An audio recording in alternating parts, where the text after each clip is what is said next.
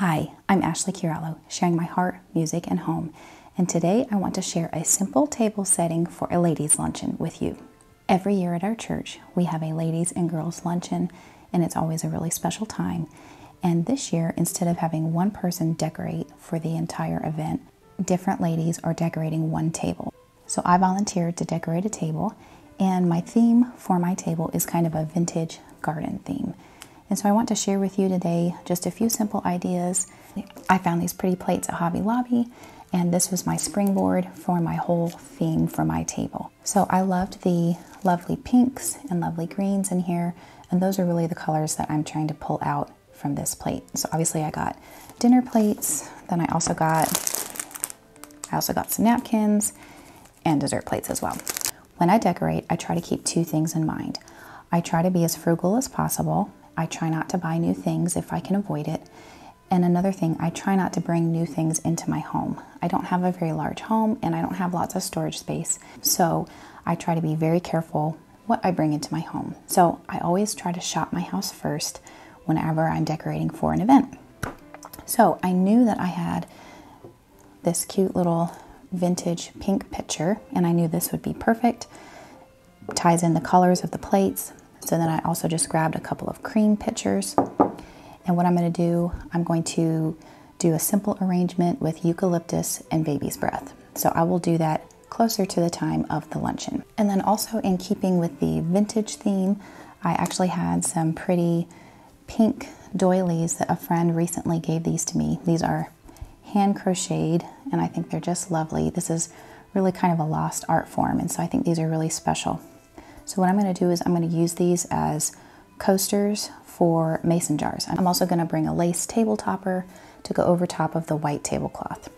When I'm decorating a food table or decorating a table that people are going to be sitting at, I don't like to create a lot of height because it's very annoying trying to talk to people over top of a huge arrangement.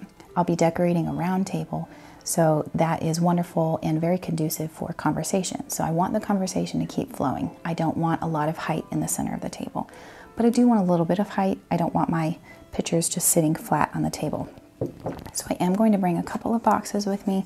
This is just a little cream box that I painted that works really well to just add a little bit of height. So I might be able to maybe put this picture here, or something like this.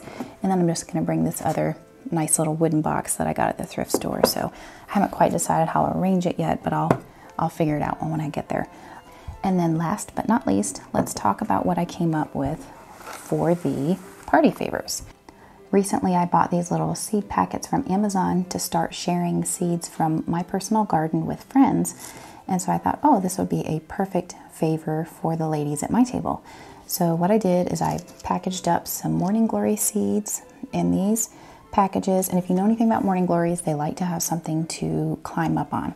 So I thought, well, I'll go to the dollar store and see what I can find. So I found these cute little kind of tan colored pots. I think it was four for $1.25. So what I did is I filled these up with dirt. And then I went out in my yard and I grabbed some sticks. I kind of broke them down to kind of the right size, maybe about six, eight inches tied them together with twine, stuck them down in the dirt, and then also at the Dollar Tree, I just found some reindeer moss and kind of tucked that on the top so that we don't just see the dirt on the top. And what I'll do is I'll set a little seed packet by each little topiary, I guess you could say, and then the ladies can plant the seeds on their own.